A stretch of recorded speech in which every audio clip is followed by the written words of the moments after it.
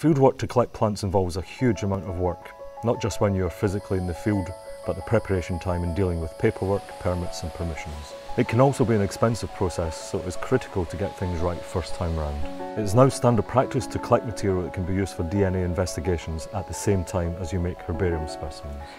DNA degrades very quickly after picking, so it's really important we preserve it as quickly as possible to maintain DNA quality. One of the most tried and tested methods is using silica gel desiccant. There are different ways to collect and store material in silica gel. The method that most of our researchers at the Royal Botanic Gardens Edinburgh use is the tea bag method. This method usually provides DNA that is of high enough quality for modern molecular research. Keeping the DNA high quality is a major concern. It can be the difference between success and failure in the lab.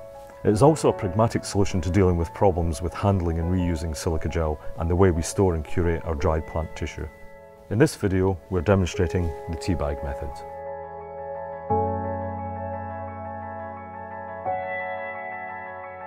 The tea bag method's been developed over several years using a combination of scientific research and trial and error. There are several different types of tea bags available. The ones that we use um, have these folds in them, which when you turn over minimises the risk of losing plant material. Some people also use coffee filters. The most important thing is that they're breathable. Silica gel comes in two forms, either as a white powder or as self-indicating beads. Here we use a mixture of both, usually in a 3 to 1 ratio. The silica gel beads change colour when they're hydrated, in this case orange to yellow. Some people use the blue beads which turn from blue to pink when hydrated. This tends to be a bit more toxic, so we tend to use the orange beads. The most important thing is that when they do change colour, it's time to replace the silica gel. Silica gel, in particular white powder form, can be an irritant to your skin and the respiratory system, so it's good if possible to use gloves, a mask and use in a ventilated area. Scientific studies have to be reproducible. In order to do that, we need to include enough specific information in our studies so that other people can reproduce and test our results. In order for this to happen, we collect herbarium specimens along with the silica dried material. This reference material allows us to confirm identifications of the plants that have been sequenced and also allows others to check this. This means our results are more likely to be accepted for publication. It's also really useful to have detailed information about the collection. So it's information such as collection number, date, scientific identification, collector, locality, including GPS locality if possible, general notes on the plant itself, and whether DNA has been collected or not. In order that the information can be traced and not confused with other collections, each specimen needs a unique identifier. This is usually in the form of a collection number associated with the collector name. It is very important that the herbarium and silica dried material are given the same collecting number so that they can be clearly linked to each other. Where possible, the silica gel sample and the voucher collection must come from the same individual plant.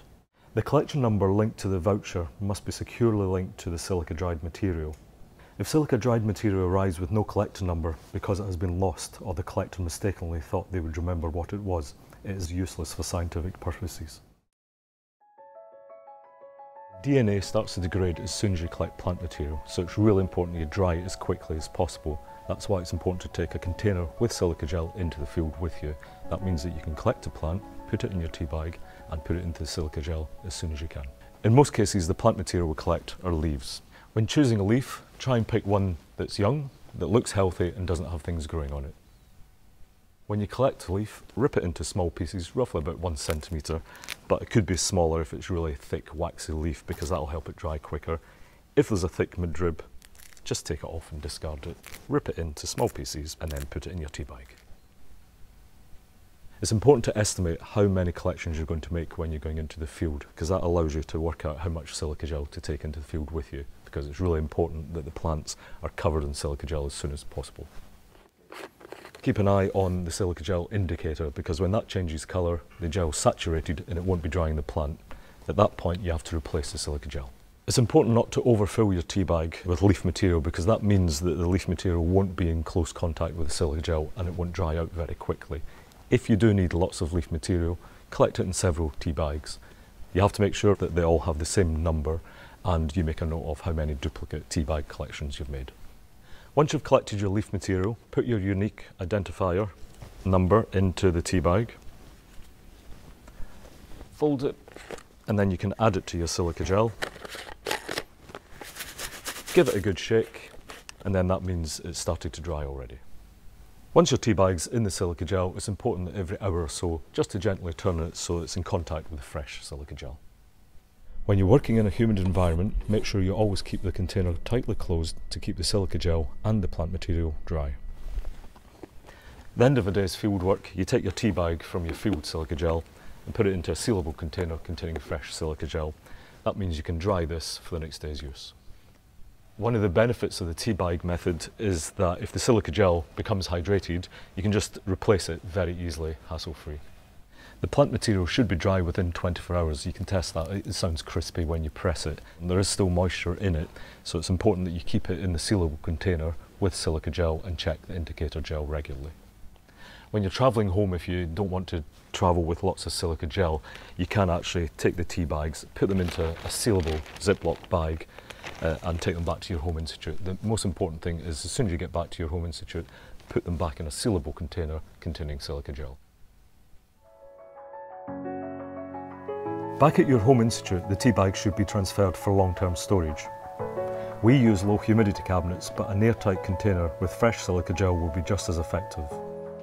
Store the container in a cool, dark, dry area. Any remaining silica gel should be checked regularly and replaced if the indicator gel shows that moisture is present. If the material has been dried quickly and is maintained in a dry state, then you should be able to extract lots of good quality DNA from your collections which can be used in a range of traditional and next generation applications.